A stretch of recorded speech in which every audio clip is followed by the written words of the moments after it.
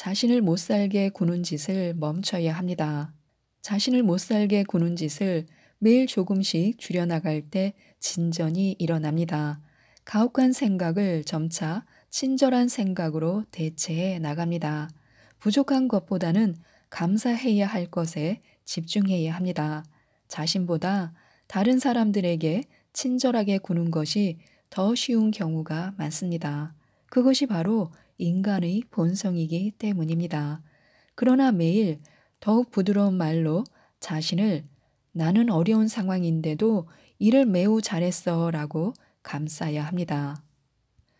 왜냐하면 자신에게 엄격하게 굴면 활력만 떨어뜨릴 뿐이기 때문입니다. 자신을 사랑하는 것이 항상 쉽지만은 않지만 가치 있는 목표입니다. 다양한 방법으로 자신을 괴롭히는 것에 대한 위안이 되어줄 것입니다. 때로는 많은 생각이 우리를 지치게 합니다. 부정적이고 스트레스를 주는 생각은 중독성이 있어서 그런 생각을 멈추는 것은 어려울지도 모릅니다. 그런 생각은 강박적이고 반복적이며 하루 종일 끈질기게 우리의 마음 속에서 재생될 수 있습니다. 이런 행위는 우리를 지치게 할 수 있습니다. 그렇기 때문에 우리 스스로 통제권을 장악해야 합니다. 이런 생각들은 일종의 자해입니다. 그것들이 우리 자신과 세상을 보는 방식을 정의하도록 내버려 두지 말아야 합니다. 왜냐하면 그것들은 진짜가 아니기 때문입니다. 이런 생각들이 진짜가 아니라는 것을 안다면 내 인생이 어떻게 변할까라고 스스로에게 물어야 합니다. 시간을 갖고 그것에 대해 일기를 써보는 것도 좋습니다. 이런 생각들이 보내는 거짓 메시지를 계속 믿게 되면 우리는 피곤하고 불행해지기 쉽습니다. 대신 너는 망상의 그물이 낳은 허구일 뿐이다 라고 말함으로써 통제권을 가져야 합니다. 존 레논이 말했듯 유일한 현실은 사랑이며 그것이 우리가 집중해야 하는 것입니다. 우리를 보잘 것 없게 만드는 목소리를 추방해야 합니다. 삶의 장애물을 넘어서야 합니다. 장애물은 삶의 일부입니다. 그것을 어떻게 다루느냐가 얼마나 쉽게 도전을 정복하는지를 결정할 것입니다. 멱살을 쥐거나 싸우지 않고 어려움을 해결하는 법을 배우는 것은 행복을 위한 핵심입니다. 장애물을 맞닥뜨렸을 때 밀치는 것이 정답은 아닙니다. 억지로 밀거나 저항하려고 하지 말고 한 걸음 물러서서 숨을 내쉬어 보기 바랍니다. 장애물이 무엇인지 그것을 극복하기 위해 어떤 조치를 취해야 하는지 곰곰이 생각해 보는 것입니다. 그 걸림돌은 우리가 정신을 차리고 무슨 일이 일어나고 있는지에 주의를 기울여야 한다는 신호일 수도 있습니다.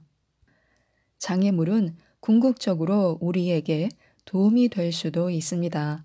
예를 들어 너무 피곤하거나 아파서 일을 진행할 수 없다면 그건 제발 자신을 보살피고 쉬세요 라고 말하는 것일 수도 있습니다.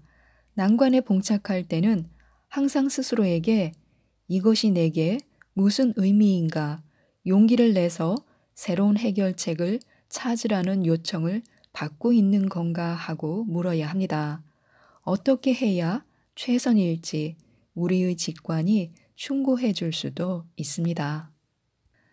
나만의 시간을 갖고 나를 돌보는 일은 매우 중요합니다.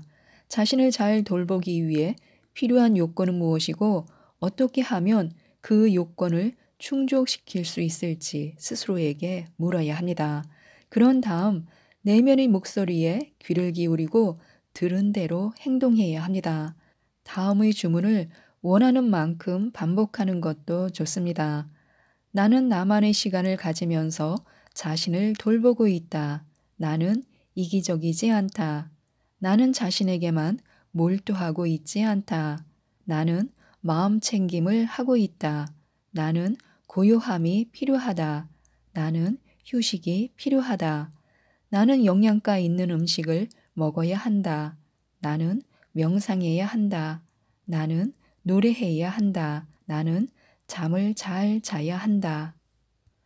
나는 매일 달라질 수도 있는 나만의 욕구를 밝히고 존중할 것이다. 나는 나만의 시간을 즐길 것이고 나 자신을 이렇게 잘 돌보고 있다는 사실에 행복을 느낄 것이다 라고 다짐을 해야 합니다. 누군가의 말이 아닌 행동을 관찰하는 것도 좋습니다. 누군가가 신뢰할 만한지 그 사람과 다정한 친구나 짝을 이룰지 결정할 때는 그 사람이 다른 사람을 어떻게 대하는지 주목해 보시기 바랍니다. 본인이 얼마나 성숙한 사람인지 말로 듣는 것보다 그가 점원, 동료, 아이들 또는 장애인을 대하는 행동 방식을 보는 것입니다. 이는 그들이 궁극적으로 우리에게 어떻게 행동할 것인지를 보여주는 진정한 지표입니다. 아무도 보고 있지 않다고 생각할 때 혹은 친절하게 대해봤자 얻을 게 없다고 생각할 때 그가 얼마나 사려 깊게 행동하는지 지켜보는 것입니다. 그들은 횡단보도를 천천히 건너가는 노인의 행동을 참을성 있게 기다리는지 뒤늦게 타려는 사람을 위해 엘리베이터 문을 열고 기다려주는지 이러한 행동들은 모두 그 사람이 진짜 어떤 사람인지 보여주는 명백한 증거가 됩니다. 오늘의 긍정 루틴은 주디스 올러프 지음 이은경 옮김 갤리온에서 나온 하루 한 페이지 마음 챙김이라는 책이었습니다. 이상 책데이트였습니다. 감사합니다.